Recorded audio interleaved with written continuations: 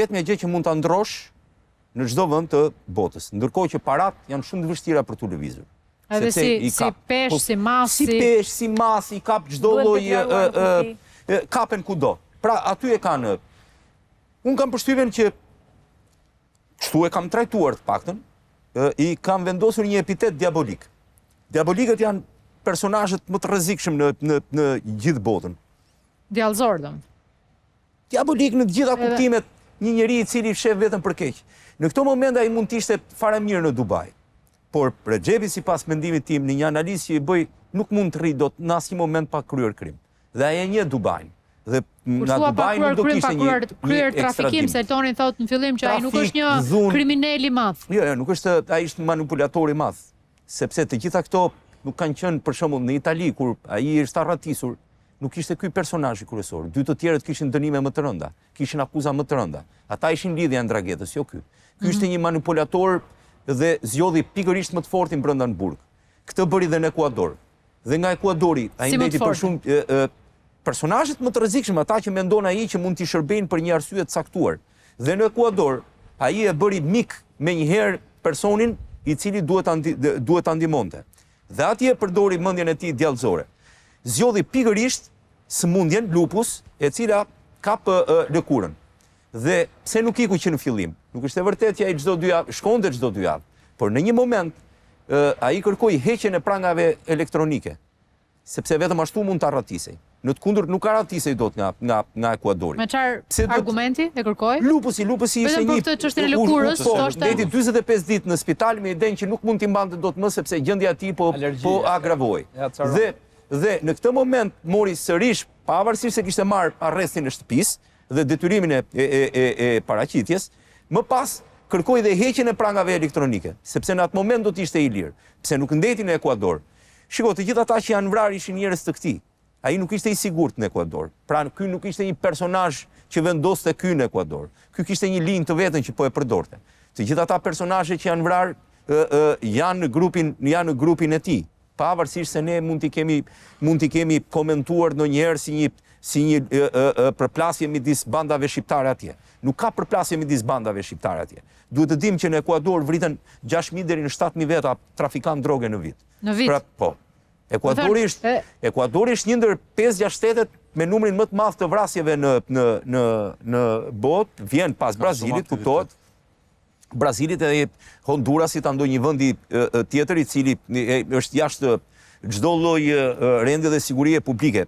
Biles, këtë, pikërisht këtë janar presidenti u detyrua të fuste ushtrinë në rrugë, sepse nuk kishte, vrasjet ishin shumë. Më duket se këtë janar po, më rritën diku te, çdo qytet ka getot e veta, po, prandaj është krijuar. Besoj që këtë janar ishin diku brenda janarit u vranë 4 apo 500 veta brenda brenda ë ë muajit dhe presidenti u detyrua të fuste të fuste ushtrinë në rrugë për kontrolle më të më të imtësishme. Pati një destabilitet edhe se vetë presidenti kishte dyshime për implikim, për aq kohë sa kunati i tij doli lidhje e një shpërndarësi që kishte lidhje edhe me një personazh në Shqipëri. Në këtë mënyrë, po për të vazhduar analizën në mënyrën si e shoh, ai është vërtet që është një ndër personazhet e vetme shqiptarë që e gjen në çdo lloj gazete.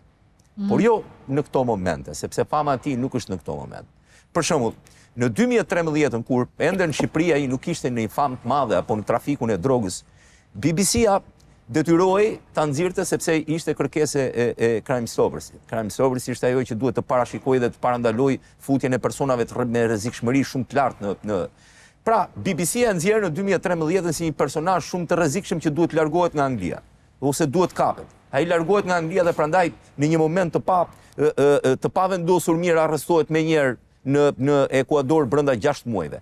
Anglia dhe Hollanda çuditërisht janë dy vendet ku ai nuk nuk kryen dot aktivitet kriminal, ndërkohë që gjithë shqiptarët e tjerë gjithë aktivitetin e tyre kriminal e kryejnë në Angli dhe në në Hollandë. Atë me më shumë të dendurin. Ma thuaj pse e mendon që për ta. Po sepse e bënin këta të tjerët për llogari të këtij. Kjo është e gjitha. Jo, nuk mundej, nuk mundej të gjente shqiptarët në këto vende nuk kishin nevojën e këtij.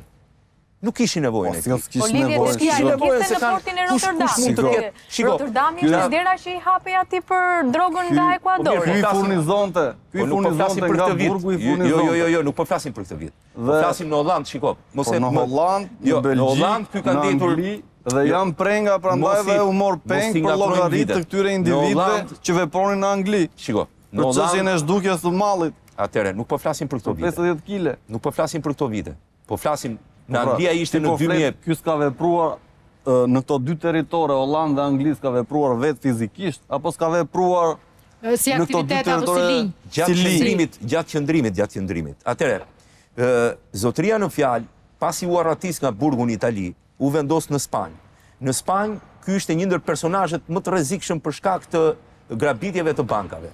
Para shumë Koli është duke thënë këtë, Alton.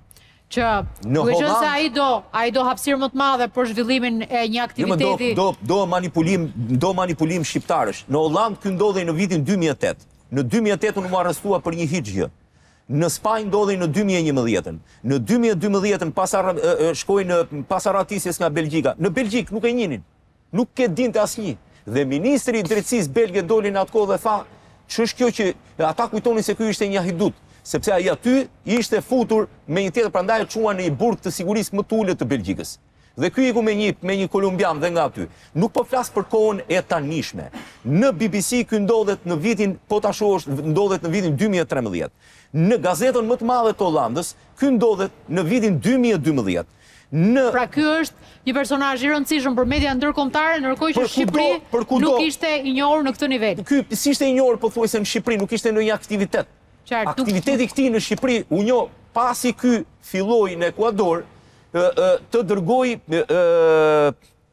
sasi të konsiderueshme. Unë po flas për mënyrën se si është rritur. Pra, në dy mijë e gjashtën ikën nga burgu në Itali, i ndihmuar nga dy personazhe të cilët aktivitetin e tyre kriminal e kishin më të madh. Atyre u mbaronte burgimi në dy mijë e tridhjetë e treshin, këtij i mbaronte në dy mijë e njëzet e gjashtën. Dhe ai Dhe del- sharrat i gjetën ata.